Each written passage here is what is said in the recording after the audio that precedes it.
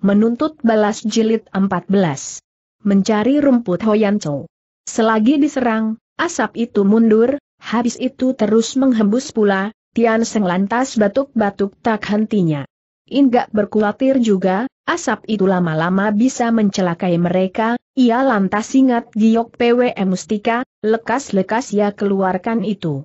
Begitu cahaya mutiara memancar, asap lenyap seperti disapu badai, ruang pun menjadi terang sekali. Dengan cepat Tian Seng pun berhenti batuk-batuk kepalanya tidak terasa pusing dan napasnya tidak sesak sedang tadi, ia sudah merasa sangat tidak enak ia menjadi girang dan kagum, hingga ia bisa tertawa. Sekarang aku yang rendah tahu akan takdir manusia, ia kata, bahwa kita tidak boleh bertindak dengan menentangnya. Mari, Tai Hiap mari ikut aku inggak mengikuti. Jangan memanggil aku Tai Hiap saudara Heng ia kata sambil berjalan, sudilah kita berbahasa saudara saja. Baiklah, aku menurut, kata anak muda serba hitam itu. Dengan cepat keduanya tiba di terowongan. Di situ bergelimpangan beberapa mayat dengan tubuh mereka tak utuh, ada yang tangannya patah atau kepalanya pecah. Itulah hasil bekerjanya Tian Seng barusan, Inggak menghitung semuanya sebelas mayat. Dia hebat, pikirnya orang gagah dan sebat, ia heran kenapa anak muda ini mendadak mau berbuat baik untuknya dan kenapa Cakun hendak membinasakan mereka berdua. Asap masih saja mengepul, makin lama makin tebal, akan tetapi mutiara mustika selalu membuyarkannya. Hingga sebaliknya, menarik akan memandang asap itu bergulung-gulung. Segera Tian Seng sampai di jalanan yang sempit, Hingga cuma satu orang dapat lewat di situ, itulah liang yang wajar, tingginya kira empat tombak. Inggak mengikuti melalui terowongan sempit itu. Saudara Heng, kenapa kita tidak langsung pergi keluar ia tanya, dengan tenaga tangan kita dapat kita menghalau pokoknya asap itu. Tian Seng tertawa. Saudara Cia, kau memandang Cakun terlalu enteng katanya, sebelum saudara tiba sini, dia sudah mengatur persediaan bahan apinya, di depan dan di belakang, semua pintu dan keluar telah ditutup rapat, ditutup dengan batu-batu besar, dia hanya tidak menyangka bahwa aku datang kemari hingga aku turut terkurung bersama. Inggak heran. Benar-benar aku tidak mengerti kenapa mulanya saudara tidak ketahui Kakun mengandung pikiran mencelakakan kau juga? Tian Seng tertawa pula. Mengapa saudara tidak melihat atau menerkanya dia balik menanya, bukankah tadi waktu aku baru sampai, dia berubah air? Mukanya itulah alamat buat mencelakai orang. Hanya ketika itu aku belum tahu, dia maksudkan saudara atau aku, adalah setelah terdengar suara genta dan dia keluar sendiri, baru aku menduga jikalau dia mau mencelakai saudara sendiri, mengapa dia tidak mengajak aku pergi bersama, Sungguh berbahaya, pikirin Gaklat tertawa dan kata, aku tidak percaya dengan kita bekerja sama, tidak dapat kita menggempur pintu. Nyata saudara Cia masih belum ketahui jelas, mungkin kita dapat menggempur pintu, hanya setelah itu, kita bakal jadi letih sekali dengan tenaga kita habis, mana bisa kita berkelahi? Cakun berjumlah lebih banyak, dan bersamanya juga ada dua hantu lainnya yang lihai jika tidak demikian, sudah tentu tadi aku telah turut dia keluar bersama. Mereka berbicara sambil berjalan, jalanan makin sempit dan makin keit hingga mereka hampir merayap. Inggak menggunai pula mutiaranya untuk menyului jalanan yang gelap dan sukar itu. Inggak heran tetapi ia diam saja ia tidak mengerti kepada Heng Tian Seng ketahui jalanan rahasia ini dan kenapa Cakun sendiri tak mengetahuinya. Mereka jalan terus sampai di tempat yang buntu, Inggak heran tapi Tian Seng tertawa dan berkata, Saudara tentu mengerti ilmu silat Pek Hui Kang biarlah aku yang terlebih dulu memperlihatkan kejelekanku. Inggak tahu orang mau naik ke tinggi dengan merayap. Pek Hui Kang, itu ialah ilmu cecak. Ia lantas mengangkat kepala, untuk melihat ke atas, ia mendapatkan asap mengulak hingga untuk melihat jauh ke tinggi, sinarnya mutiara pun masih tidak dapat. Heng Tian Seng berkata dengan terus bekerja ia menggeraki tangan dan kakinya untuk diangkat dan ditempel ke tembok untuk manyat, ia dapat bergerak dengan cepat, sebentar saja ia sudah naik lima enam tombak. Bagus Inggak memuji di dalam hati, Pek Hui Kang bukan sembarang ilmu, tapi ia tidak berdiam saja, ia pun lantas naik, untuk menyusul. Saudara hati-hati terdengar suaranya Tian Seng kita akan menikung. Inggak mendengar nyata, ia berwaspada, dengan begitu tak usahlah kepalanya membentur lelangit batu. Hati-hati terdengar pula suaranya Tian Seng terus berulang-ulang. Ketika Inggak mengikuti, ia telah melalui jalan naik sembilan tikungan, habis itu barulah terlihat cahaya terang dari sebelah atasan itu. Biar bagaimana, Inggak merasa letih juga. Tian Seng sebaliknya telah bermandikan keringat dan napasnya mulai mengorong, dia menyusuti keringatnya itu.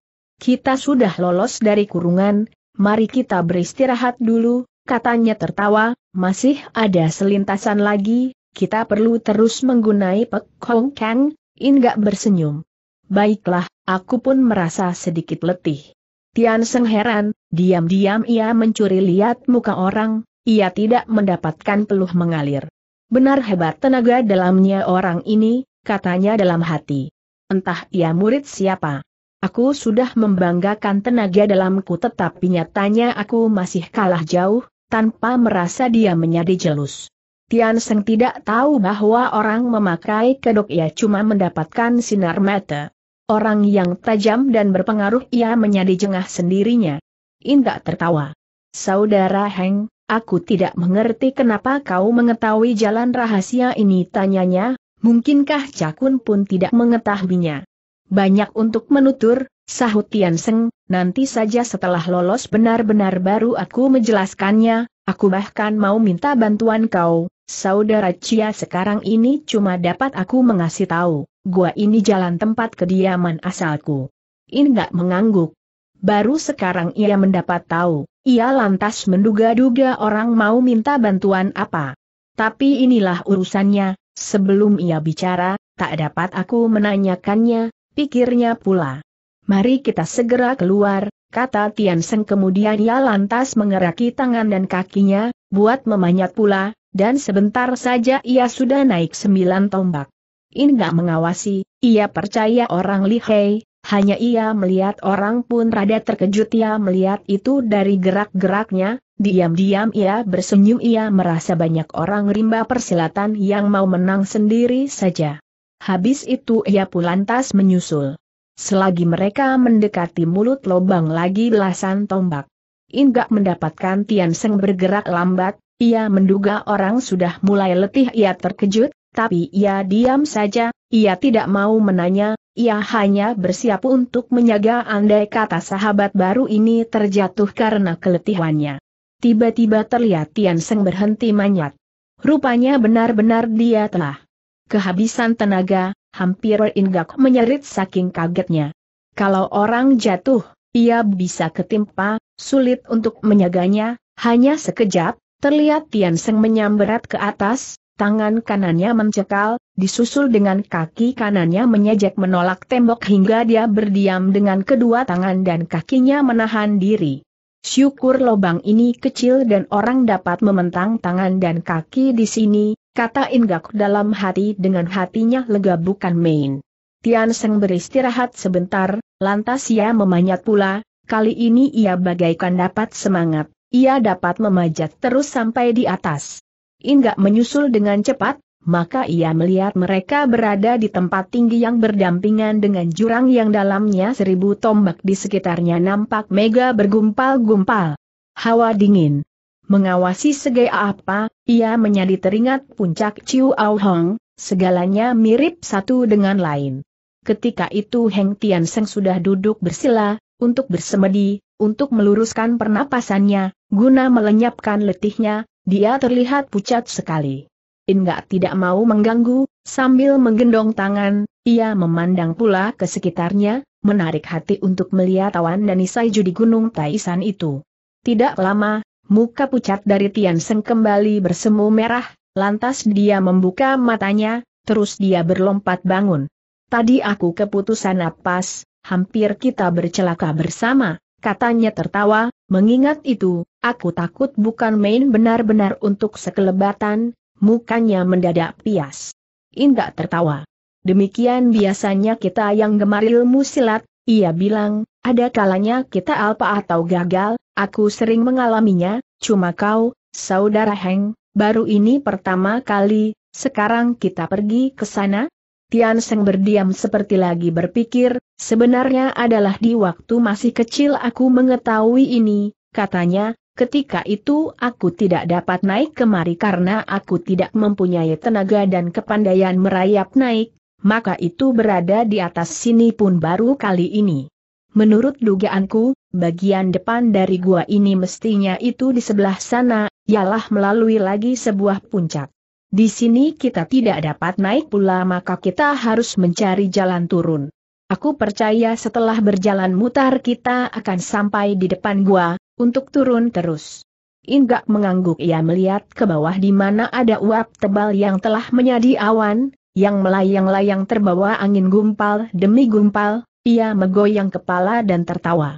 Sungguh kejam Cakun, katanya, sungguh hebat dia menggunakan tipu muslihatnya ini, jikalau aku bertemu dengannya, dia tidak dapat diberi ampun lagi. Memang kata Tian Seng tertawa, jikalau dia tidak dibinasakan kita hendak menanti siapa lagi? Inggak mengawasi pula ke bawah, bagaimana mereka dapat turun jalanan tidak ada, pohon rotan pun tiada, hanya belasan tombak jauhnya ada beberapa pohon cemara tua yang tumbuh di tepian, kalau orang lompat turun ke pohon itu, mungkin dia dapat berpegangan untuk menahan diri. Aku lihat kecuali itu pohon cemara, tidak ada jalan lain, katanya pada kawannya, ia berkata begitu tanpa ia mau menanya orang sanggup berlompat turun atau tidak, percobaan itu ialah percobaan mati hidup. Tian Seng mengawasi ke bawah, ke arah pepohonan, ia bersenyum. Karena tidak ada lain jalan, terpaksa kita mesti mencoba, katanya selama berada di Hang San setiap hari aku mesti berlompatan di atas pohon, maka itu mungkin percobaan kita ini tidak bahayanya, nah, nanti aku coba. Kata-kata itu disusul dengan lompatan kepala dulu, kakinya belakangan, dengan begitu terlihat tegas nyali besar dari pemuda serba hitam ini, yang berani terjun itu, ketika ia hampir tiba di pohon, terlihat tubuhnya terbalik pula, untuk berdiri, tangannya dipentang. Maka dengan tenaga dia menaruh kakinya di cabang pohon. Inggak kagum, ia tahu itulah tipu silat ringan tubuh dari partai Liong San Pei, namanya burung patok indang jatuh di ranting. Lantas terdengar suaranya Tian Seng dari bawah, dari pohon cemara itu, Saudara Cia, kenapa kau tidak lekas lompat turun? Lekaslah, supaya aku dapat menyaksikan kepandaianmu yang lihai suara itu bernada kepuasan. Inggak bersenyum, tanpa menyahuti, ia pun terjun, ia mementang kedua tangannya, ia turunnya dengan perlahan, tak secepat kilat Tian Seng barusan. Menyaksikan kepandaian orang itu Tiat Jiao Hok Eng menjadi kagum sekali, ia menjadi malu, karena ini, jelusnya bertambah, ia kalah, ia penasaran. Mulai dari pohon itu keduanya lantas dapat mencari jalan untuk turun terus, selanjutnya ada kedapatan pohon cemara atau lainnya atau rotan, ketika akhirnya mereka tiba di bawah, selagi mereka berlari-lari hendak keluar dari situ, dari sebuah pengkolan mereka menampak munculnya belasan orang ialah Cakun dengan rombongannya. Kedua pihak sama-sama terkejut, yang satu heran, yang lain kaget. Mereka telah segera berdiri berhadapan, sebab mereka bersamplokan. Sekonyong-konyong, bagaikan kalap Heng Tian Seng lompat menerjang seorang yang bertubuh besar, yang berdiri di sisinya Cakun menjadi sasarannya, dengan menerbitkan suara keras tangannya mampir di dada orang hingga tulang-tulangnya dia itu patah dan tubuhnya terlempar jatuh ke bawah di mana ada jurang lainnya yang rendah orang itu menyerit dan jeritannya berkumandang di lembah maut itu. Minus 0000000. Bab 6 Semua orang terkejut dan hatinya giris mendengar jeritan itu, tak terkecuali Indak. Setelah penyerangannya itu, Heng Tian Seng tidak lantas berhenti, segera ia memutar tubuh, sambil mengangkat tangan kanannya ke depan, ia menyerang Cakun dengan tangan kirinya, ia berlaku cepat seperti yang bermula itu. Cakun terkejut untuk serangannya Tian Seng tadi, maka itu ia berlaku waspada, atas datangnya serangan terhadap dirinya, ia menolak ke depan, setelah mana ia mencelat mundur sembilan kaki. Tian Seng menyerang tetapi dia tertolak hingga dia mundur dua tindak mukanya. Menjadi merah malu bercampur penasaran hampir tanpa meluruskan napasnya, ia menyerang pula, Sepuluh jeriji tangannya yang kuat mencari jalan darah Soan Ki dari si hantu bertangan satu itulah pukulan menurut ilmu cengkerama Nao Kim Jiao atau kuku lima ternak unggas sajarannya Sin Silojin dari Hang San, dan kelihatannya si anak muda serba hitam itu sudah dapat menguasai kemahirannya. Akan tetapi Topi Sin Mochakun ialah seorang hantu yang lihai, yang telah banyak pengalamannya, dia tidak takuti ilmu cengkeraman musuhnya ini, dia sebaliknya jeri terhadap pinggak hingga semenjak mula-mula dia senantiasa melirik ke arah pemuda itu yang berdiri terpisah setombak lebih jauhnya. Dia bahkan telah memikir jalan lolos apabila bahaya mengancam, dia memang sangat tidak menyangka akan dapat menemui kedua pemuda itu dengan masih hidup, sebab dia telah mengukup mereka dengan asap beracun dan kedua jalan keluar depan dan belakang sudah ditutup mati. Untuk menjaga diri, dari siang-siang dia juga telah menggenggam jarum rahasianya yang beracun, Pok Bong Hulcian guna membokong si orang secia, dia melihat kawannya diserang Tian Seng, dia bersiaga, dari itu ketika dia diserang, dia dapat membela diri, sekarang dia diserang pula, sambil memperdengarkan ejekan. Hektometer dia berkelit sambil memutar tubuh, sambil berkelit tangannya terayun dia menggunai tenaga Xiao yang Ciang Semblari juga menimcuk dengan senjata rahasianya itu. Tian Seng kaget sekali mendapatkan serangannya gagal dan ia berbalik diserang dengan jarum beracun ia tahu benar, asal ia kena diserang jalan darahnya yang berbahaya jiwanya akan melayang pergi seketika. Untuk berlompat menyingkir sudah tidak ada ketikanya. Maka terpaksa ia menggunai kedua tangannya untuk menutup jalan darah yang paling berbahaya. Kalau ia terlukakan di lain bagian, ia percaya, ia akan dapat menolak racun dengan empusan tenaga dalamnya. Cakun lihai sekali, beberapa batang jarumnya itu mengenai tubuh lawan. Tian Seng kaget, ia merasa dadanya kaku, matanya gelap sudah begitu, ia terhajar serangan Xiao Yang Chiang, karena mana tubuhnya kena dibikin terpental. Selagi terpental itu, pemuda ini sudah mulai pingsan, akan tetapi telinganya masih mendengar seruan enggak disusul dengan punggungnya disambut dengan cekalan yang kuat, yang menahan terpentalnya itu, habis itu barulah ia tak tahu apa-apa lagi. Selama menyaksikan pertempuran enggak telah memasang metu dan telinganya matanya melihat pertempuran berlangsung, telinganya mendengar suara, maka itu ia mendengar suara luar biasa dari bergeraknya Saiju yang telah membeku menjadi esi atau apa artinya itu, ia terkejut melihat akhirnya tubuh Tian Seng terlempar akan tetapi karena ia selalu siap sedia, ia dapat menggunai ketikanya dengan baik.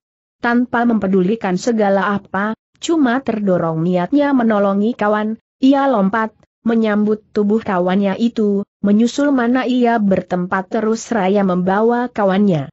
Itulah percobaan sangat berbahaya, dengan dia telah pingsan, tubuhnya Tian Seng menjadi lebih berat daripada biasanya, maka itu enyakan kakinya inggak menjadi melesak jauh lebih dalam, hingga lompatannya menjadi sedikit terintang dan terlambat.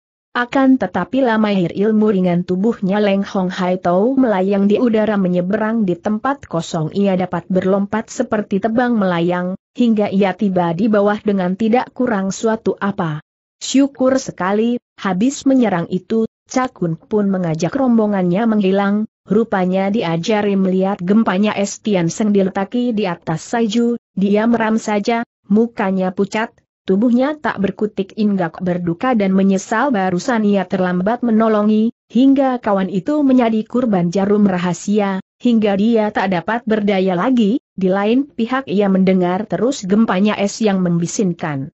Sekian lama enggak mengawasi keempat penyuruh, buat mencari jalan untuk berialu dari situ ia tidak melihatnya, terpaksa ia menyabarkan diri, menanti sampai radanya gempa es itu ia lantas meraba tubuh Tian Sengla terperannya tubuh kawan itu panas seperti api. Sungguh lihai tenaga Xiao yang cinlek diri Tok Paisin Mocakun, pikirnya ia jadi ingat hal dirinya pernah dihajar musuh itu, hingga ia terpental jatuh sedalam seribu tombak, sedang itu waktu, ia dapat membela diri hanya dengan pertahanan tenaga Xiao yang Jit Kong, kalau tidak pastilah ia tidak masih hidup sekarang ini. Ia melihat pula keletakan tempat di mana ia berdua berdiam ini. Ia merasa untuk sementara, Tempatnya ini aman lagi sekali. Ia meraba nadinya Tian Seng, ia mengerutkan alis, luka kawan itu tak ringan. Cakun menggunai tangan jahat, teranglah dia membenci sangat kepada Tiat Jiao Hek Eng Heng Tian Seng, itu tentulah suatu permusuhan besar, entah permusuhan apa itu. Dua macam kepandaian diri Cakun, yaitu jarum beracun Tok Bong Hui Chiam atau Cui Tok Hui Chiam Cha dan tangan lihai Xiao yang Sin yang tersohor saking hebatnya. Biasanya dia menggunai salah satu di antaranya tapi terhadap Heng Tian Seng, dia menggunai dua-duanya dengan berbareng. Dari pemeriksaan nadi itu, In gak tahu racun sudah mulai meresap masuk ke dalam samsam, selewatnya 12 jam, hawa panas akan membakar meluluhan tanpa tujuan, karenanya, ia menjadi bingung, ia mengerti ilmu obat-obatan tetapi ia tidak tahu bagaimana harus menolong orang Shi Heng ini. Rumput Hoyan Chow dapat melawan racun Cui Tok Hui Chiam, hanya pada lukanya Tian Seng tambah hawa panasnya, ia jadi sangsi menggunainya syukur kalau ia berhasil, kalau tidak, ia dapat menambah hebatnya bahaya. Pula di dalam Piao Kiok lagi menantikan dua orang yang membutuhkan pertolongan rumput Hoyan Chow itu, sedangkan yang ia miliki cuma dua pohon dapat ia menolak racun yang berhawa panas itu dengan tenagi Poat Tesin Kang, hanya untuk itu, ia memerlukan tempo dua hari dua malam. Mengawasi mukanya Heng Tian Seng, Indak percaya orang bukanlah seorang lurus, menurut ilmu meramal, wajah dia bukan wajahnya seorang sahabat yang di akhirnya bakal ada faedahnya untuknya. Baiklah, aku tinggalkan dia, pikirnya, tapi rasa peri kemanusiaannya mencegah ia berlaku begitu, tak dapat ia tak menolong ancaman kematian itu. Orang pun telah membantu ia keluar dari tempat berbahaya, maka setelah bersangsi sejenak, ia keluarkan rumputnya, ia buka paksa mulutnya. Tian Seng dan masuki rumput itu ke mulut orang, ia mencairkannya dengan menggunai tekanan tenaga dalam dari bilek Sin Kang.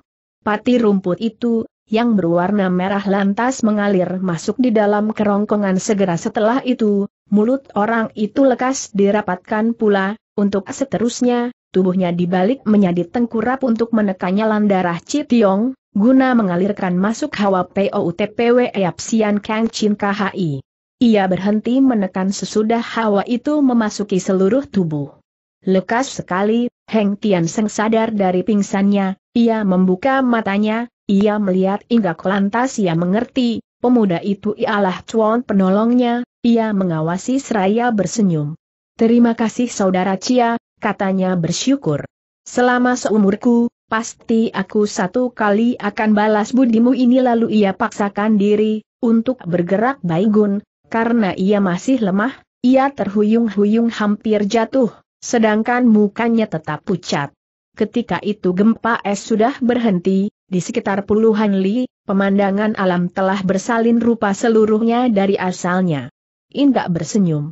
Menolong sesamanya itulah tugas kita kaum Hiapgi, katanya ramahkah sendiri lain saudara Heng, kau telah berbuat kebaikan terhadapku, jangan kau pikirkan soal kecil itu, kau terluka hebat pukulan Xiao Ying Sin Chiang, karenanya sekarang baik kau pulang ke Gunung Hangsan kepada gurumu, untuk diobati terlebih jauh, jalan darah Citiong perlu diurut selama dua hari dua malam, baru kau akan sembuh seluruhnya.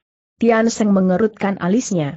Dengan kepandaian kau, saudara Cia, tak dapatkah kau menolong menyembuhkan aku seluruhnya tanya ia. Hati In gak bereaksi. Tahulah ia bahwa Tian Seng mencurigainya. Dengan lekas, dengan sungguh-sungguh ia menjawab, Saudara Heng, tahu aku bagaimana harus menyembuhkan kau, akan tetapi aku cuma dapat membuat kau merasa lega saja, tak sanggup aku menolongi kau lebih jauh lantaran aku kurang latihan. Umpama kata aku paksa menolong tetapi aku gagal bukan saja aku kecewa, saudara sendiri bakal menyesal seumur hidup, kalau kau bercacat, apa? Daya? Di samping itu mentuaku lagi sakit berat jiwanya terancam bahaya siang atau malam, dari itu perlu aku lekas-lekas pulang, untuk mencegah supaya aku tidak gagal di dua-dua pihak aku jadi mau menasehati untuk saudara lekas pulang kepada guru saudara. Mendengar begitu, Tian Seng tunduk pada matanya nampak sinar tak puas atau penyesalan, sedang di dalam hatinya ia kata, nyatalah kau bermaksud buruk, kau tidak sudi memulihkan tenagaku. Hektometer selama aku masih hidup, akan aku balas sakit hati ini. Inggak melihat orang tunduk ia menduga orang berduka, handuk ia menghibur, mendadak Tian Seng mengangkat kepalanya dan kata sambil tertawa, kau benar saudara Cia, baik akan aku segera pergi kepada guruku, setelah aku sembuh, akan aku belajar silat terlebih jauh. Hendak aku membalas jarumnya topi Sin Mocakun ini. Belum habis dia mengucap. Tian Seng berhenti dengan tiba-tiba. Mendadak tubuhnya menggigil hingga dengan suara tak nyata ia mengatakan, dingin, dingin. Ketika itu, angin gunung memang lagi bertiup keras, hawa dinginnya meresap masuk ke tulang-tulang, Pantas kalau Tian Seng, yang baru sadar, merasakan dingin luar biasa. Sudah, saudara Heng, kata Ingak. Jangan saudara bicara banyak, marilah kita lekas-lekas berlalu dari gunung ini. Berkata begitu, Ingak lantas memegang lengan orang untuk diangkat, buat ia membawanya berlalu ia lari dengan cepat, hingga Tian Seng merasa dia seperti dibawa terbang, di samping kagum, dia menjadi mengiri, hingga kedengkiannya bertambah-tambah. Dengan petunjuknya Tian Seng, tak sampai satu jam, tiba sudah enggak di desa Bantek Chun. Di situ mereka mencari sebuah pondokan yang buruk guna melewatkan sang malam. Paling dahulu mereka minta barang makanan, guna mengisi perut, habis itu, Inggak kata, Saudara Heng, ketika tadi kita lewat di depan desa, di situ ada rumah obat, maka itu sekarang ingin aku pergi ke sana, buat membeli obat untukmu, supaya tubuhmu menjadi terlebih kuat. Sekarang silakan saudara masuk ke kamar untuk beristirahat, lebih baik lagi apabila kau dapat tidur, aku akan lekas pergi dan lekas kembali. Tian Seng mengangguk. Baiklah, saudara Cia sabutnya, kau baik sekali, tidak nanti aku lupakan budimu ini, Inggak merandek lantas ya keluar, Melihat orang pergi, Tian Seng mengawasi dengan mata bersinar, mukanya bersenyum iblisnya. Ia perdengarkan tertawa tawar, perlahan ia tidak pergi beristirahat seperti dinasehati, ia hanya memanggil Jongos, meminjam kertas dan berabot tulis, terus ia duduk menulis sesudah selesai, dari sakunya ia keluarkan semacam bubuk putih, yang ia tiup tersebar di atas kertas tulis itu. Pada mukanya yang pucat tampak senyuman iblisnya, ia pun menelan dua butir obat. Pulung warna merah, yang ia telan dengan air untuk di akhirnya ia keluar dari pondokan, untuk berlalu selekas mungkin. Tak lama Inggak kembali dengan sebungkus obat, ia heran tak menemukan kawan yang lagi sakit itu sebaliknya, ia cuma bisa melihat sehelai kertas di atas meja, tanpa sanksi pula ia jemput itu, untuk membaca tulisannya. Tian Seng menulis sebagai berikut. Saudara Cia yang baik. Seberlalunya saudara, tiba-tiba aku ingat bahwa aku membekal dua butir obat pulung guruku, lantas aku makan itu, dengan lekas aku merasa tenagaku mulai pulih. Saudara tahu, sekarang aku ingat betul bahwa Cakun itu benar musuhku, dialah yang dulu hari membunuh ayahku, semasa hidupnya ayah, Cakun menjadi sahabat karibnya. Sayang, Ketika ayah terbunuh dia aku masih sangat kecil, aku tidak tahu apa-apa, bahkan aku tidak melihatnya. Aku dibawa guruku naik gunung sebulan sebelum pembunuhan. Kalau tidak mungkin aku pun akan terbinasa bersama. Di dalam sebuah pertarungan, tidak akan ada telur yang utuh setiap tiga tahun sekali, Cakun menyenguk aku di atas gunung, ia kata bahwa pembunuh ayahku ialah Soat Sanjinmo, satu di antara Goan Uh Sam Chiat, tiga jago dunia, karena itu sekarang aku mau menyangka mungkin mereka berdua bekerja sama merampas jiwa ayahku, Aku sangat ingin membalaskan sakit hati itu, maka tak dapat aku menanti kembalinya saudara, aku sudah lantas berangkat terlebih dahulu inilah sebabnya maka aku hendak minta bantuan kau, saudara jikalau saudara tidak menampik dan sudi membantu aku, nanti di bulan ke-6, di saat terangnya bulan, aku bersedia menantikan saudara di kuil Cukat Buau di kota Seng Pou. Tak dapat aku menulis banyak maka aku menulis begini saja. Terimalah hormatnya, Heng Tian Seng. Baru sekarang Inggak mengerti kenapa Tian Seng mengenal baik gua dan jalanan, kiranya dia pernah tinggal sedari kecil di atas gunung, ia sedikit mencurigai permintaan bantuan itu, mereka toh baru kenal satu pada lain, tapi suka ia meluluskan ia pikir dapat ia pergi ke Sengtou, sekalian pesiar untuk menyambangi kuburan ibunya. Ada bersama kawan pun akan membuat ia tak kesepian di sepanjang jalan, sementara itu, ia mulai merasa sebal dengan penghidupan di dalam dunia Kang ia cuma bertempur dan membunuh orang busuk. Maka ia pikir, habis menuntut balas, ia tak akan menghiraukan apa juga. Memikir sampai di situ, Inggak merobek suratnya Tian Seng, terus ia membayar ruang sewa kamar dan harganya barang santapan, tidak beraya lagi, ia meninggalkan pondokan itu sekarang ia memikirkan dua orang yang lagi sakit di dalam piau kiok mereka itu lagi menantikan rumput. Hoyan Chow ia menyesal yang ia tidak dapat terbang, karena itu di jalan besar ia lari keras sekali, hingga ia menarik perhatian orang-orang di sepanjang jalan, yang pada mengawasi padanya. Hanya di dalam perjalanan ini, Inggak mengenakan topengnya yang pertama hingga ia nampak seperti seorang yang lagi sakit. Di waktu tengah hari, pemuda ini tiba di Sin Ketsun yang terpisahnya diri kota Cilam tak lebih daripada 20 li. Justru itu, di situ, sering ia berpapasan dengan orang-orang yang berdandan sebagai orang Kengou yang mengaburkan kudanya lewat pergi datang, yang romannya, di mata ia mencurigakan ia menjadi heran. Tak tahu ia, mereka itu mempunyai urusan penting apa ia sendiri pun tak sempat memperhatikan mereka itu. Begitu memasuki batas Sin Ketsyung, Inggak memperlambat tindakan kakinya. Justru itu, ia menjadi heran, lantas ia menjadi terkejut. Mendadak jeriji-jeriji tangannya sedikit kaku, terus ia merasakan tak enak tak leluasa untuk menggerakinya, gejala apakah itu? Tidak ayal lagi, ia menutup jalan darahnya inilah sebab rasa kaku itu bekerja semakin cepat sebentar saja sudah merambat ke sikut, ia tidak menyangka kepada Tian Seng, yang telah menggunai racun bubuk putih. Racun itu dapat membuat tubuh kaku dan kejang, dari tangan sampai ke tubuh dan otak, hingga orang bakal jatuh pingsan dan akan mati karenanya tanpa sadar pula. Sebaliknya dari menyangka jelek pada Tian Seng, ia justru mengira bahwa ia telah terkena racun sebab ketularan dari Tian Seng di saat di Gunung Taisan ia menolongi orang si Heng itu. Karena itu, ia lantas lari ke sebuah tempat yang lebat dengan pepohonan di luar dusun, ia mencari sebuah tempat yang sunyi, lantas ia duduk bersila untuk menyalankan ilmu. POUTPW Yapsin Keng guna mengusir rasa kejang itu, kalau gangguan itu benar disebabkan racun, racun itu bakal terusir keluar. Benar luar biasa latihannya Inggak. Tak sampai sehirup panteh, POUTPW Yapsin Keng sudah memperlihatkan hasilnya, kedua tangan si anak muda, dari sebatas sikut, lantas menghembuskan asap hitam yang buyar tertiup angin, dengan begitu juga lenyaplah rasa kejang itu.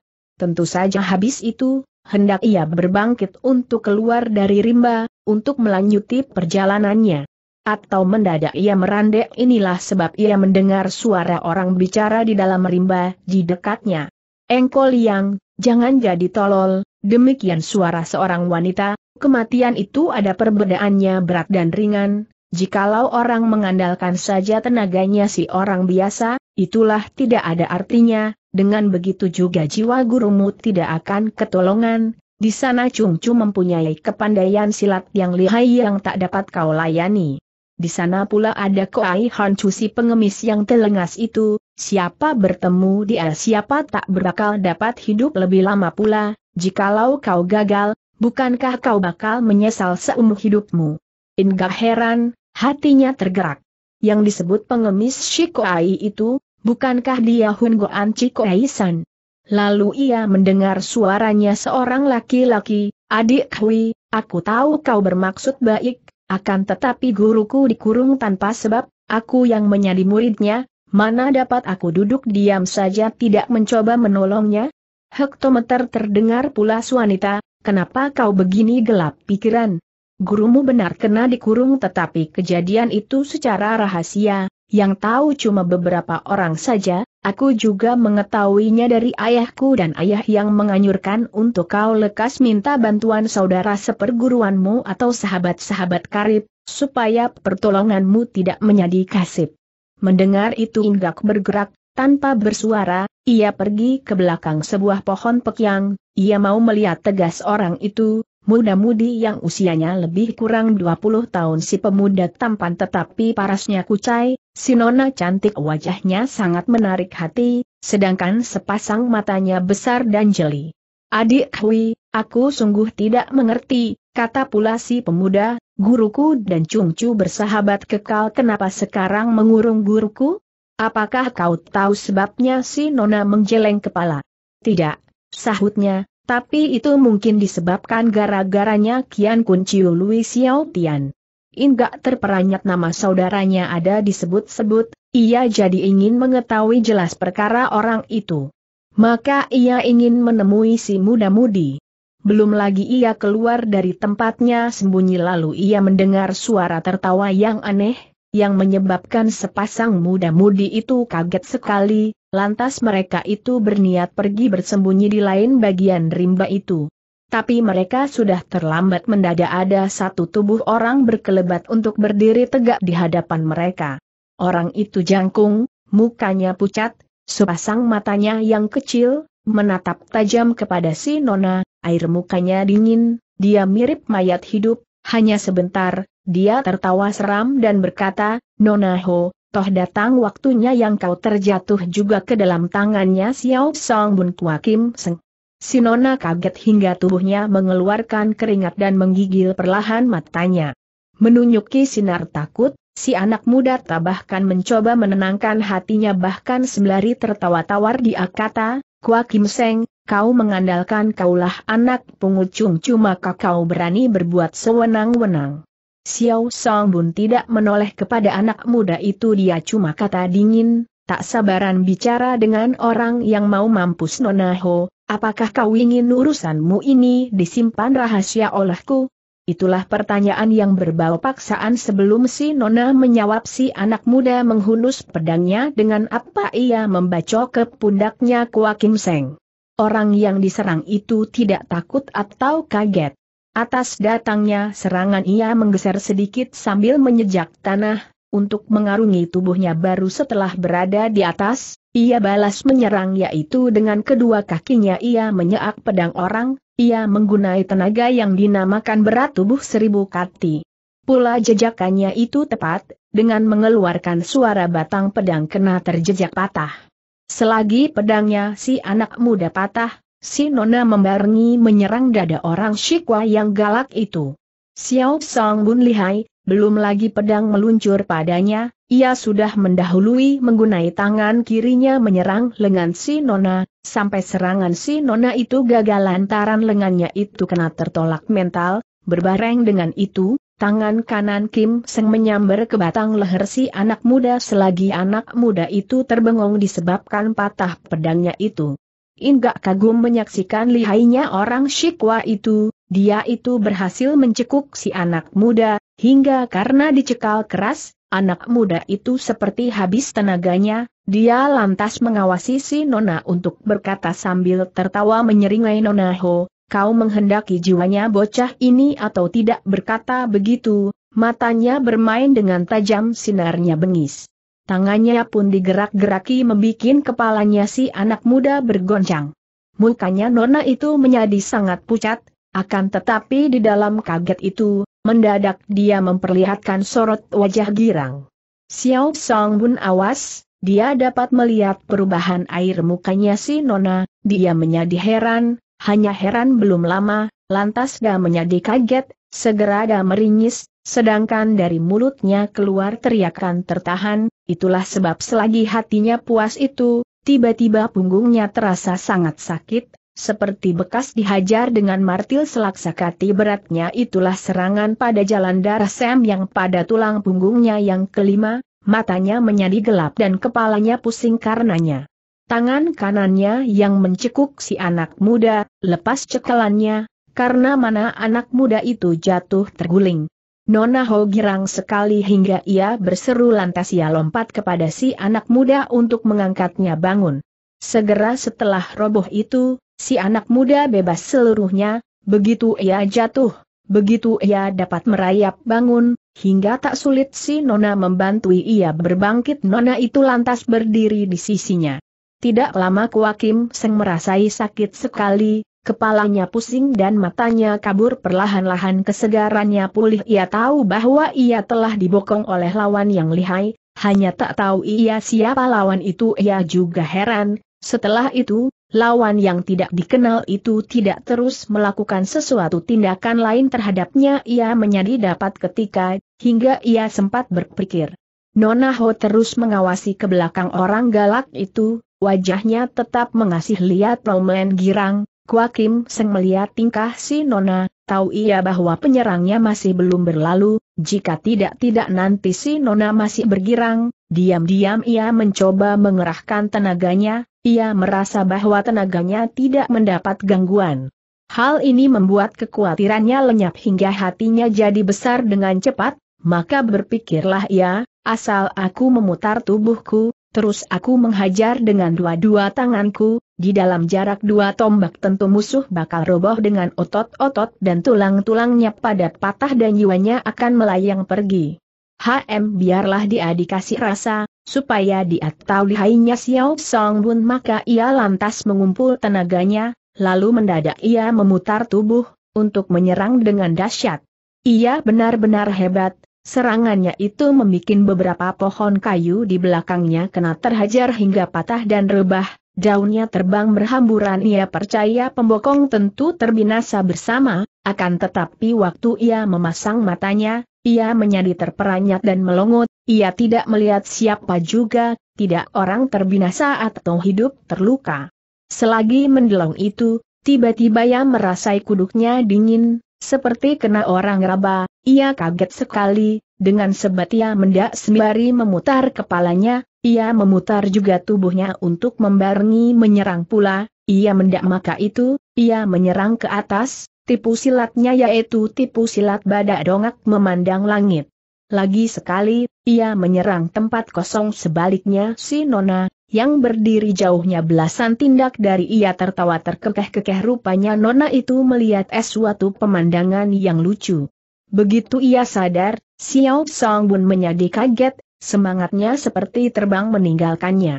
Lantas ia menenangkan diri, guna menetapkan hatinya yang goncang, ia menginsafi lihainya lawan yang belum dikenal itu. Karena ia berani, ia lantas menegur, tikus dari mana yang banyak lagak ini jikalau kau berani, kau perlihatkanlah dirimu buat apa main sembunyi-sembunyi seperti maling. Belum berhenti cacian itu, atau Kuakim Seng mendengar suara tertawa yang seram, dan sebelum ia tahu apa-apa atau bersiaga, ia merasa jalan darah Wi yang di paha kirinya sakit bagai digigit kutu, saking kaget, ia lompat mencelat delapan atau sembilan kaki tinggi, untuk jatuh turun pula dengan terbanting, sebab ia bukan lompat wajar, hingga ia tidak bisa menaruh kaki seperti biasanya, bahkan setelah roboh itu, tubuhnya terus terkulai, tak dapat ia merayap bangun, jangan kata berlompat sembari rebah itu, ia membuka matanya lebar-lebar untuk melihat ke sekitarnya. Segera ia menampak seorang berdiri mengawasi padanya, muka orang itu kuning seperti orang lagi sakit, hanya orang pun berdiri mengawasi sambil wajahnya bersenyum berseri-seri. Pula sinar kedua mata orang itu membuatnya dijeri, meski juga ia sendiri sebenarnya memiliki mata yang bengis. Tanpa merasa, ia menggigil sendirinya. Belum sempat ada ang bicara di antara empat orang itu, atau di dalam rimba itu di lain bagian terdengar suara berisik bentak-membentak disusul dengan munculnya tiga orang yang gerakannya sangat cepat hingga tubuh mereka berkelebat bagaikan bayangan. Begitu mereka sampai, tiga orang itu berdiri berendeng dengan sikap mia siap sedia, sedangkan tangannya masing-masing mencekal senjata. Dengan metu yang tajam, mereka mengawasi Kuai Chiu Si Seng Chia Inggak, ialah orang yang mempermainkan Kua Kim Seng. Inggak mengenali kepada Liong Se Sem Niao. Tiga burung dari Liong Se. Pitlow yang memelihara kumis seperti kumis janggutnya kambing gunung, sudah lantas membentak. Sahabat, kau titik. Koma. Inggak bersenyum, ia mengangkat tangannya mencegah orang bicara. Pitlow heran dia berhenti sendirinya. Hanya dia mengawasi terus. Setelah melarang orang bicara, Inggak bergerak, tubuhnya mencelat, kaki kirinya di belakang kaki kanannya di depan, kaki kanan itu terangkat tinggi, sedari itu orang yang galak itu, yang tidak keburu berkelit atau menangkis, sudah mengeluarkan jeritan tertahan, lantas tubuhnya roboh dengan dia mengeluarkan darah dari mulut, hidung, mata, dan telinganya. Hingga kebinasaannya itu menjadi sangat menyeramkan. Parasnya Liong Xie Sem Niao berubah dari pucat menjadi merah saking gusar, hampir berbareng mereka bergerak, berlompat maju sambil memutar senjatanya masing-masing menyerang Inggak sambil mengurung. Inggak tidak mundur karena pengepungan itu, ketika orang sampai, dia mengibaskan tangan kanannya. Atas itu, ketiga penyerang itu merasakan tubuhnya masing-masing tertolak keras, tak dapat mereka mempertahankan diri, ketiganya mundur dengan terhuyung-huyung. Maka kagetnya mereka bukan main, paras mereka pucat. Indak bersenyum. Tiga sahabat dari Liong sesapanya, di Liong Bun kita berpisah, rasanya temponya belum terlalu lama, kenapa kamu tidak mengenali aku Feng rendah? Tiga burung itu mengawasi terutama Pito dia merasa mengenal baik suara orang hanya sejenak lantas dia ingat. Dan kaget, dia menjadi sangat girang. Hai kiranya Giam Xiao Hiap dia berseru. Ah, mengapakah paras muka Xiao Hiap berubah menjadi begini rupa jikalau aku si orang sipit tidak mengenali suara Xiao Hiap hampir aku berbuat dosa kepada Tuan penolong kami. Selama di Indusan Chung, Liong Sesem Niao telah dihajar Citko yang menggunai tipu silat melintang menyapu seribu serdadu hampir mereka mati, baiknya Inggak menolongi mereka, karena itu mereka merasa berutang budi. Karena menolong mereka itu, Inggak dikejar Citko bersama Liong Bun Sukoai. Karena itu, mereka bertiga ditinggal pergi, hingga merdekalah mereka memasuki Indusan Chung, untuk mengambil seteromol emas dan mutiara, yang mereka bawa pulang ke Liongse. Inggak tertawa dan kata, aku si orang Shigiam sengaja menyalin wajahku untuk memudahkan sepak terjangku, kenapa kamu bertiga bukan berdiam di Liongse hanya berada di sini? Kenapakah? Parasnya Pitlow menjadi merah, jikalau aku mesti menutur, tak dapat itu hanya dengan sepatah dua patah kata, Sahutnya Chung Chu dari Sin Ichet Shun ini ialah Kim Kau Butek Sin Bong yang menjadi sahabat kekal guru kami, kami datang kemari karena kami menerima undangan, sekarang ini musimnya banyak urusan di dalam dunia rimba persilatan, Sin Chung Chu ingin memperoleh satu kedudukan di wilayah Kang Pak ini. Untuk bergerak, lah bekerja sama dengan Hahun Goan Chiko Wisan, ketua dari Kaipang bagian selatan, sampai sebegitu jauh, bukannya sedikit orang yang telah datang kemari untuk turut mengambil bagian. Mendengar itu, Inggak mengerutkan alis, Pit Losu, tanyanya, apakah Losu pernah mendengar tentang seorang yang dipanggil Kian Kun Chiu Lui Xiao Tian Pit Lo heran menerima pertanyaan itu, ia menggoyang kepala. Ketika itu si Nona mengajak si pemuda menghampirkan, untuk mereka memberi hormat. Kata si Nona, Tai Hiap terima kasih untuk pertolonganmu ini. Tentang Lui Tai Hiap itu, kemarin dahulu dia ditangkap Hun Goan Ciko Aisan dan telah dipenjarakan dalam penyara air, ia berhenti sebentar, lalu mukanya menjadi merah, sambil menunjuk si pemuda, ia menambahkan inilah Ong Xiao, murid dari Tai Hiap Cui Ken gelar Oh Kala M. Ketika Lui Tai Hiap ditangkap, Cui Tai Hiap telah menasehati agar Sin Chung Chu jangan memusuhkan Lui Tai Hiap akan tetapi Sin Chung Chu tidak suka. Terima nasihat bahkan mereka berdua jadi berselisih dan bertempur. Kesudahannya Cui Tai Hiap kena dilukai tangan Ko Aisan, hingga ia kena dikurung bersama dengan Lui Tai Hiap di satu tempat. Inggak mengangguklah berdiam sejenak, lantas ia tanya Liong Sesem Niao, Aku mohon tanya Sinbong itu orang macam apa? Sinbong pintar dan cerdik, sahut Losia, kalau dia bekerja, selalu dia memikir dan merencanakannya dahulu, pula dia biasa bekerja dengan meminjam tangan banyak orang hingga nama buruknya tidak terluar, rupanya Giam Xiao Hiap menjadi musuhnya Sin Chun Chu, maka itu baiklah kami akan pulang ke Liong sesupaya kami tak usah kena kerembet-rembet. Inggak tertawa. Samui cerdik sekali, kamu harus dikagumi pujinya, lain hari, apabila aku tiba di Liongse, sudah tentu aku akan mengunjungi kepada kalian. Terima kasih Xiao Hiap, kata Lohong. Kami pasti akan menantikan kedatangan Xiao Hiap. Lantas ketiganya memberi hormat, terus mereka mengundurkan diri, lenyap bagaikan burung-burung terbang masuk ke dalam rimba. Inggak mengawasi orang berlalu, habis itu ia hendak menanyakan sesuatu kepada Nona Hao dan Ong Xiao, atau mendadak ada dua orang yang muncul di hadapannya, bahkan ia segera mengenali mereka itu, It Goan Kisuo Kong serta gadisnya, Ou Koklan. Orang tua bersenyum sambil mengurut-urut kumis janggutnya dan si Nona mengawasi dengan matanya yang jeli tetapi bersinar menyesalkan lekas-lekas Inggak memberi hormat. Care bagaimana Oulo Yang Cue ketahui aku yang muda berada di sini tanyanya. It Goan Kisu tertawa lebar. Setelah Lao Te meninggalkan Yan Hia kami ayah dan anak lantas menyusul, sahutnya, apa yang terjadi di dalam kuil di kecamatan Buceng, telah kami melihatnya, hingga kami menyaksikan bagaimana lihaimu, Lao Te. Oh enggak mengasih dengar suara terkejutnya, Jadinya orang-orang Angki Panggi dalam kuil itu ialah Lo Ciampu serta Nona yang bantu menyingkirkan, Lo Ciampu, terima kasih banyak-banyak, berkata begitu, ia menyura dalam. Melihat demikian, Nona Ong tertawa geli, hingga ia nampak sangat menggiurkan Ong Kong menggeleng kepala ia bersenyum.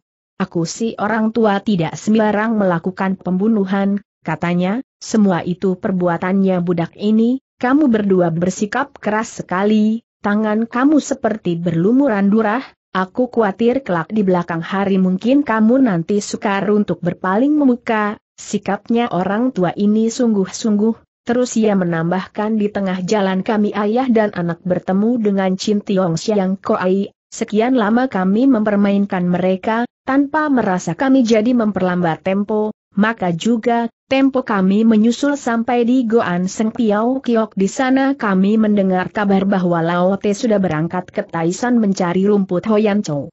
Tidak ayal lagi kami berangkat menyusul sungguh kebetulan di sini kita bertemu. Tanpa merasa, hati Inggak tegang, Lo Ciampu tentulah telah bertemu dengan mertuaku, kata ia, entah bagaimana keadaan penyakitnya. Dapatkah Lo Ciampu tolong memberi keterangan? Keadaannya mertuamu itu, Ciui Seng dan KH Olo suhu belum berubah menjadi buruk, sahut Tau Kong, Tai Hiap Tio Kong Kio sudah kembali dari Taisan, akan tetapi dia bertangan kosong, romannya sangat masgul. Ketika kami berdua tiba di Piao Kiok, kebetulan rombongannya Chong Siko Aisyu tengah mengantarkan pulang Piao yang kena. Dirampas sambil juga membawa keterangan bahwa kau telah terbinasa di Gunung Tai Santio Tai Hiap Gusar bukan main, dia telah menyerang dan dan membinasakan Chong Siko Aisyu semua, sesudah mana, dia mau lantas berangkat menyusul ke Taisan aku mencegah dan membujuki dia. Aku kata bahwa seharusnya Laote tak berusia pendek.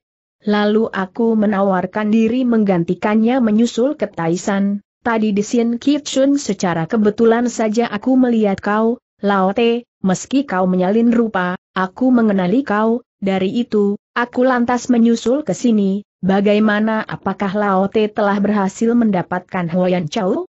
Mendengar itu, hati Inggak tetap tegang, jikalau demikian perlu aku lekas berangkat pulang ke Celam, katanya, di Sin Ketchun ini telah terkurung sahabat kekalku Kian Kun Chiu Lui Xiao Tian serta Oh Kalem Cui Cian, aku minta sukalah Lo Chiam Puan menolongi mereka. Paling lambat besok malam aku akan sudah kembali kemari. Habis berkata itu, Inggak perkenalkan si Yao dan Nona Ho semua ini aku si tua sudah tahu, berkata Oh Kong. Tertawa, hanya buat sementara waktu, belum dapat aku menolongi mereka itu berdua, Apakah Lao Te ketahui bahwa Kim Kau Bu Tek Sin Bong menjadi murid ahli waris dari empat hantu Hole Kong San sekarang ini bukan melainkan Hole Kong San Sumo serta Chin Tiong Siang Koai yang berada di dalam Sin Kecung, tetapi juga banyak jago lainnya. Meski demikian, karena ikhtiar berada di tangan manusia dan takdir di tangan Tian, biarlah kami ayah dan anak akan mencoba sebisa-bisanya, Lao Te, sekarang lekas kau berangkat ke Celam, supaya besok dapat kami menanti di sini. Mengetahui si anak muda mau berlalu dengan lekas, Nona Ou nampak menyesal dan penasaran, kata ia Manya sambil membuat men bibirnya, bagaimana sih, belum bicara apa-apa sudah mau berangkat? Tidak bisa. Hati Inga tidak enak ia justru mau menyingkir dari Nona yang selalu mengintilnya ini, siapa tahu ia senantiasa tak dapat menghindarkannya. Sebagai seorang cerdas, ia dapat menerka apa maksudnya Ou Kong ayah dan anak terus menguntili. Diam-diam ia menghela napas, ia mengangkat kepalanya, memandang si Nona, si cantik manis itu memperlihatkan air muka, juga sinar mata yang mengesalkan yang berpenasaran terhadapnya, ia pun menyesal, ia berduka dan terharu. Metu Sin Ona ialah sukmanya, tanpa merasa, hatinya bercekat, tapi ia segera berkata sambil bersenyum, Nona, akulah seorang kasar, akan tetapi aku mengerti sifatnya seorang budiman, maka itu pastilah aku tidak akan berbuat salah, besok malam aku akan kembali ke sini. Ia terus memandang si Yao dan Nona Ho untuk memesan. Buat sementara, jangan kamu berdua kembali ke Sin Ketsun. Lebih baik kamu tinggal bersama Owelo Ciampu berdua, supaya apabila ada terjadi sesuatu kamu kedua pihak dapat saling membantu, baik kamu tunggu sampai Lui Losu sudah dapat ditolong baru kamu menetapkan pula arah tujuan kamu. Begitu ia menutup mulutnya pemuda itu lantas berlompat pergi, untuk menghalangi hingga Ou Kok Lan mendelong mengawasinya. It Goan Kisu dan Si Yao serta Nona Ho pun berdiam saja. Hati Inga tidak tenang, ia melakukan perjalanan dengan cepat, di dalam tempo belum setengah jam, ia sudah melalui perjalanan 20 li. Ketika itu matahari sudah doyong di barat. Dengan lantas ia memasuki kota Celam, ia mendengar suara genta dalam kuil Cian Hutsi di atas bukit Cian Hutsan sedangkan air telaga yang terang indah dari telaga Tai Bengou lantas nampak di depan matanya. Di ujung sana, air telaga seperti menempel dengan pangkal langit, Sungguh indah pemandangan alam di situ, tapi tak sempat ia memperhatikannya ia langsung lari ke Goan Seng Piao Kiok hingga orang-orang di tengah jalan heran melihat ia berlari-lari itu. Selagi memasuki pintu besar dari Piao Kiok.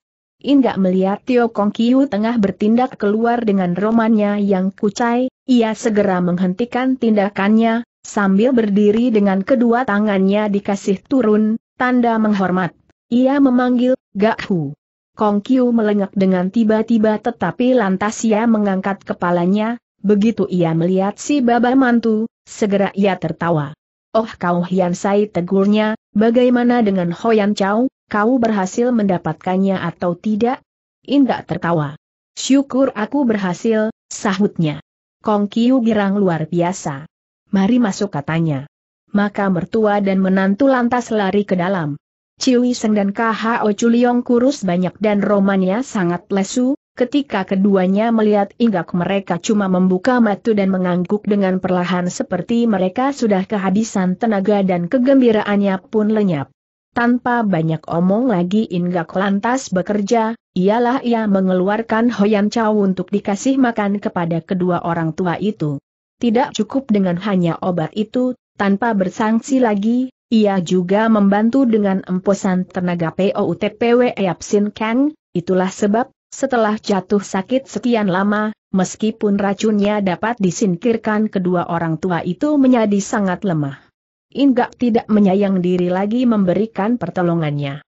Tepat di waktu maghrib, Ciu Seng dan KHO Chuliong telah mendapat pulang kesehatan mereka, Inggak sebaliknya menjadi pucat mukanya, hingga ia perlu pergi ke kamar sisir, untuk duduk bersemadi guna mengumpul pula tenaga dalamnya yang dikorbankan itu. Selagi Inggak menolongi kedua orang tua itu, di luar sejumlah sahabat ingin melihat wajah si anak muda, akan tetapi Tio Kong Kiu mencegah mereka itu dengan mengatakan sebentar malam saja mereka menemuinya. Mereka itu tidak tahu bahwa Ingak ialah Ko Ai Chiu si Seng Jiein yang namanya telah menggemparkan dunia bueng, mereka melainkan ketahui anak muda itu gagah, tidak demikian mungkin mereka menjadi gempar sekali. Kapan sang malam tiba, Goan Seng Piao Kiok mengadakan pesta besar, lampu dan lilin dipasang terang-terang, orang berkumpul gembira menghadapi enam buah meja besar, ramai bicara dan tertawa mereka. Semua orang berpaling dan semua mata ditujukan ke satu arah waktu sesaat kemudian dari perdalaman muncul seorang muda yang tampan sekali, yang cahaya mukanya bersinar sambil bersenyum manis dengan gerak-geriknya yang halus, anak muda itu mengangguk memberi hormat pada orang banyak. Sekejap itu, sunyi senyaplah ruang pesta itu. Tiong Chiu Kiam Kek Tio Kiu, ahli pedang dari Tiong Chiu, bangun berdiri, untuk memperkenalkan orang banyak pada si anak muda, maka lantas ramailah orang memberi selamat kepada pemuda itu. Hingga repotlah enggak menyambuti pelbagai cawan arak semua orang puas sekali, anak muda itu ramah tamah, mereka kagum. Perjamuan berlangsung sampai rembulan berada di tengah-tengah langit setelah para hadirin bubar, enggak masuk ke dalam bersama Kong Kiu dan lainnya, ia lantas menutur tentang Louis Xiao Nian dan mengatakan besok pagi mau kembali ke Sin Ketshun untuk menolongi saudara angkat itu, ia berniat mengekang Koaisan, supaya kaum Kepang partai pengemis, tidak saling bunuh, kemudian ia minta Kong Kiu dan Wei Seng pun besok pagi meninggalkan celam, buat pergi ke tempat peternakannya di tapal batas di utara, ia kata, Selesai urusan di Sin Ketshun hendak ia menyusul ke tapal batas itu. Kedua orang tua itu setuju, mereka pun pikir, sesudah berusia lanjut, tak ada perlunya mereka hidup lebih lama pula dalam dunia Kang Ou, bahkan baik sekali untuk hidup damai dan berbahagia selama hidup selanjutnya. KHO Chuliong tertawa, kata, Kim Kau Butek Sin Bong biasa berdiam di dalam rumah, jarang dia keluar, dengan penduduk setempat, dia hidup rukun.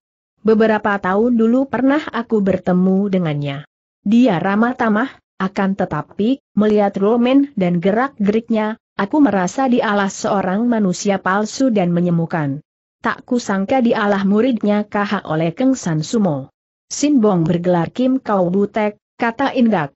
Itu berarti bahwa dengan gaotan emasnya dia tanpa lawan mustahilkah sebegitu jauh tidak pernah ada orang yang menyaturoni Sin Ketshun untuk menantangnya. Gaotan emas si Allah Kim Kau dan tanpa lawan ialah Butek. KHO Chuliong menepuk pahanya.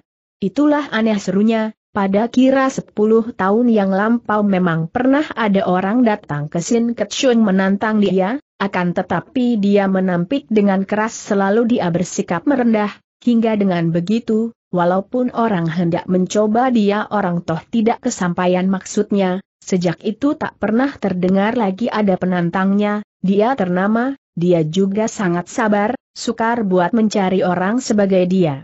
Karena itu Laote, mendengar keterangan ini itulah aneh itulah mencurigai. Indah bersenyum. Kata ia, kalau manusia palsu, biar bagaimana, satu kali akan terbuka kepalsuannya. Ciwi Seng yang pendiam mendadak ingat sesuatu. Hian Sai, tanya ia. Bagaimana sikapnya gadis Ong Kong? Terhadapmu. Dengan tiba-tiba muka Inggak menjadi merah ia dapat menerka bahwa Ong Kong telah bicara entah apa tahu dengan mereka ini, ia menjadi tak tahu harus membilang apa tak dapat ia membuka mulutnya. Kong Kiu menatap tajam pemuda itu ia bersenyum. It Goan Kisum menjadi seorang yang sulit untuk dilayani, katanya sebenarnya bagaimana perasaanmu terhadap gadisnya itu? Kau bilanglah terus terang tidak ada halangannya. Muka Inga tetap merah. Aku tidak mempunyai perasaan apa-apa, sahutnya terpaksa. Wiseng mengurut jenggotnya. Inilah urusan tidak berarti, kata ia tertawa, baiklah perlahan-lahan saja kita mengurusnya. Tanda petik. Ia mengguna kata kita tentu ia maksudkan ia bersama Kong Kiu. Inga ingin tahu apa katanya Ong Kong terhadap kedua orang tua itu tetapi lama lu membuka mulutnya, beberapa kali ia sudah berkelimek tetapi gagal, dapat ia menguasai diri untuk terus membungkam. Berbicara lebih jauh dari lain hal, Kong Kiu lantas menimbulkan urusan Hoyan Chow bagaimana rumput obat itu didapatnya. Inga menuturkan jelas pekerjaannya mencari rumput itu semua orang tertarik hati dan kagum, Kong Kiu tertawa. Jikalau tidak ada bantuannya Ong Kong dan gadisnya, mungkin Chong Si belum bisa dapat ditumpas, katanya kemudian, kita semua sudah berusia lanjut, semoga kelak. Di belakang hari kawanan kaum sesat tidak akan mengganggu kita lagi, hanyalah kau, Hian Sai, kau harus waspada. Mereka itu menganggap kaulah konconya Ko Ai Chiu Si Seng Jien, tapi lama-lama, mungkin mereka akan ketahui kamu sebenarnya satu orang. Inggak menerima baik nasihat itu, ia berjanji akan berlaku hati-hati. Kemudian, kira jam 4, orang masuk tidur tapi Inggak tidak dapat pulas, ia banyak berpikir sudah satu tahun ia merantau, ia merasa hatinya masih kosong, ia merasa kosong karena ia tidak mempunyai orang tua. Di samping itu, ia terganggu asmara ia jadi menyesal, ia merasa dunia Kang Owe itu tidak mempunyai waktunya yang damai, ada terlalu banyak orang buruk, semua karena keinginannya yang berlebihan, sulit untuk manusia membuat dirinya tak berkeinginan, rupanya melainkan nasib yang mampu berbuat demikian. Pemuda ini bergulak-gulik hingga ayam-ayam jago berkeruyukan menandakan seng waktu sudah jam 5, ia lantas berbangkit buat mencuci muka dan dandan. Ketika itu Tio Kong Kiu, Ciu Iseng dan lainnya pun sudah bangun dari tidurnya, semua sudah lantas bersiap. Cuan rumah juga bersiap untuk menyambut sekalian tetamunya. Habis bersantap maka empat ekor keledai menarik sebuah kereta yang indah, di belakang kereta berjalan delapan pembantunya Kong Kiu, yang Kong Kiu tugaskan, Kong Kiu sendiri bersama Ciu Wiseng naik kereta juga. Seberlalunya rombongan mertuanya itu, baru Inggak mengambil selamat berpisah dari KHO Chuliong dan lainnya orang dari Goan Seng Piao Kio ia bersikap tenang waktu ia keluar dari Lem Kuan, kota selatan. Hari itu, beda dari kemarinnya, langit mendung dan angin keras sekali hingga pasir beterbangan bagaikan menutup pitangit, cabang-cabang pohon, tanpa daunnya, goyang-goyang hebat, Enggak tidak menghiraukan itu ia melakukan perjalanannya sangat. Di dalam tempo sebentar, ia sudah melewati tujuh li, tengah ia berlari-lari itu mendadak telinganya mendengar suara angin halus yang beda daripada angin keras itu, inilah seperti angin dari berkibarnya ujung baju. Berbareng dengan itu, ia juga dapat mencium bau yang harum ia lantas mendapat tahu bahwa ada orang yang menguntiknya ia berlagak pilon, ia lari terus. Hanya kali ini, sesudah beberapa tindak mendadak ia memutar tubuh sambil ia menolak dengan sebelah tangannya menggunai tenaga bilek Sin Kang. Begitu ia berbalik, begitu ia baget sekali, mukanya menjadi pucat, lekas-lekas ia menarik pulang serangannya itu, walaupun demikian, orang di belakangnya itu tertolak mundur dua tombak jauhnya, syukur dia tidak kurang suatu apa, bahkan dia dapat terus lompat maju hingga dia jadi berdiri di depannya. Ah nona serunya, mukanya merah kenapa kau datang kemari? Mana ayahmu? Nona itu ialah Hong Kok Lan, gadisnya Hong Kong hari ini dia mengenakan pakaian kuning muda, pupur dan yancinya tipis tetapi itu justru membuat kecantikannya jadi mentereng. Dia mengawasi tajam wajahnya, sinar matanya menunjuki dia tak puas, mungkin mendengkol. Inggak menyedilikat sekali, tapi ialah laki-laki sejati, La lantas memberi hormat dengan menyura dalam. Katanya, maaf nona. Dengan sesungguhnya aku tidak tahu kaulah yang berada di belakangku, jikalau tidak walaupun nyaliku besar tidak nanti aku berari turun tangan atas dirimu. Nona Ou tertawa dingin, jikalau aku kedua Enci Tio Lian Chu dan Goat Go, tidak nanti kau berlaku begini galak katanya. Ingat melengak. Tak tahu ia harus menjawab bagaimana, matanya mendelong ia lantas menduga-duga, entah apa yang dikatakan Ou Kong di dalam Piao Wakiok. Dan setahu bagaimana kata-kata kedua mertuanya, tidak demikian tidak nanti Nona ini ketahui nama kedua istrinya. Mendadak si Nona tertawa, terus mulutnya dibuat main. Sungguh menarik romanmu sekarang ini katanya. Menggoda ia tertawa pula secara menggiurkan. Inggak berdiam, hanya sekarang hatinya tak bergelisah lagi. Oh Koklan tertawa, lalu dia berkata, tadi malam jam 3, aku telah pergi ke Piau Wakiok. Hektometer kalau bukannya aku, tentu kamu sudah pada pergi ke akhirat.